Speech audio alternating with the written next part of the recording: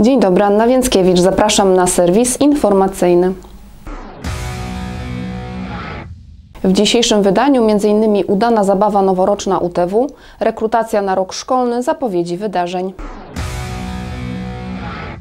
W ostatni dzień stycznia studenci Uniwersytetu Trzeciego Wieku, działającego przy Starogardzkim Centrum Kultury, bawili się podczas spotkania noworocznego. Nie zabrakło muzyki, tańca, dobrego jedzenia i doskonałego nastroju. Wśród zaproszonych gości znaleźli się m.in. zastępca prezydenta miasta do spraw społecznych Maciej Kalinowski, przewodnicząca Komisji Kultury i Promocji Miasta Martyna Łangowska-Siembida oraz dyrektor SCK Ewa Roman. Dzisiaj kończymy zaliczenie semestru roku akademickiego 23-24.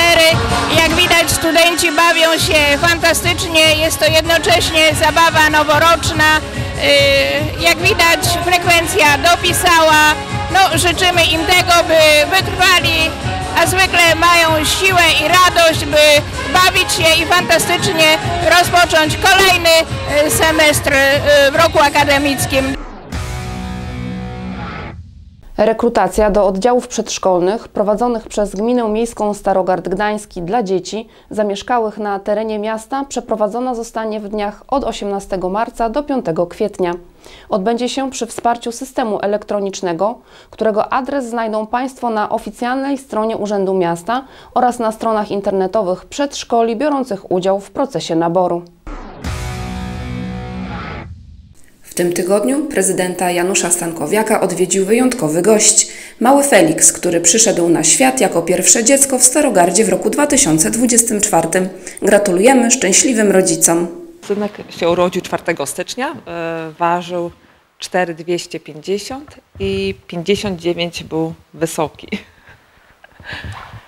Ma rodzeństwo. Posiadamy jeszcze inne dzieci. Ogólnie ma czworo rodzeństwa jeszcze. Najstarszy jest Szymon. e, Jest na pierwszym roku Politechniki Gdańskiej na Wydziale Budownictwa. Potem ma brata e, Damiana, który ma lat 17. E, Chodzi do liceum ekonomicznego o profilu chemicznym. Ma też brata artystę, który uczy się w liceum ogólnokształcącym w Gdańsku na ulicy Gnilnej. E, Gra na akordeonie guzikowym. No i posiada też jedną siostrę, Magdalenę, która chodzi do drugiej klasy szkoły podstawowej numer 8 w Starogardzie Gdańskim. Święto Kociewia obchodzone jest od 2007 roku. Zostało ustanowione w 200. rocznicę udokumentowanego zapisu nazwy Gociewie. Ideą tego dnia jest wspólne przeżycie emocji związanych z regionem. Z tej okazji już w najbliższy piątek w sali widowiskowej SCK odbędzie się lekcja regionalna, którą przeprowadzi kapela kociewska Fefernuski. Tego dnia ogłoszone zostaną także wyniki konkursu pod tytułem Kociewie to oraz wręczenie nagród. Zapraszamy również do wzięcia udziału w konkursie organizowanym przez Urząd Miasta, w którym do wygrania będzie zestaw miejskich gadżetów. Konkurs będzie dostępny na profilu facebookowym Starogard Gdański od soboty. Starogardzkie Centrum Kultury zaprasza 11 lutego o godzinie 15 wszystkie dzieci na karnawałowy bal przebierańców. Na uczestników czekają liczne zabawy i atrakcje, przebranie oraz dobry humor obowiązkowe. To nie koniec atrakcji dla najmłodszych. W dniach 10-11 lutego w hali sportowej imienia Andrzeja Gruby w godzinach 12-20 w sobotę oraz 10-18 w niedzielę odbędzie się niezwykłe wydarzenie. Halowy Festiwal Dmuchańców. 1 godzina 40 zł, bilet całodniowy 60 zł, obejmujący wejście z placu zabaw i powrót. Dzieci do lat 2-20 zł, dorośli jako opiekunowie nie płacą. Na miejscu możliwość kupienia ciepłego posiłku i napojów. Starogardzkie Centrum Kultury zaprasza do zapisów na zajęcia semestralne Street Art Graffiti. Opłata semestralna to 550 zł za 15 spotkań. Zajęcia zaczynają się od 16 lutego i trwać będą do końca maja. Szczegóły u organizatora. 9 marca o 18 w kinie Soku wystąpi dla Państwa Piotr Bałtroczyk. Jest znaną, cenioną i lubianą osobowością życia publicznego w Polsce.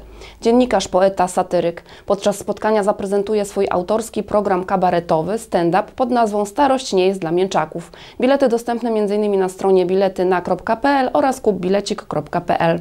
o 18 w kinie Sokół Piotr Bałtroczyk 9 marca. Zapraszam.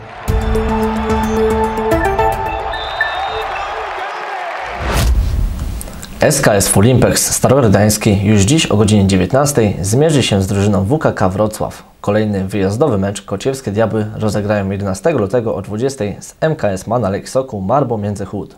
Na ten moment po 22 kolejkach nasi koszykarze znajdują się na 10 miejscu w tabeli. Przygotowania zespołu oraz trenerów do rundy wiosennej trwają. Zagra młodzież, dla której będzie to wielka szansa na zdobycie ważnego doświadczenia na poziomie półzawodowym, jakim jest trzecia liga. W marcu KP Strogat rozegra w niej 5 meczów. W minioną sobotę nasi zawodnicy zwyciężyli mecz sparingowy z drużyną Grom Nowy Staw wynikiem 3 do 2. Dziękuję Państwu za uwagę. Do widzenia.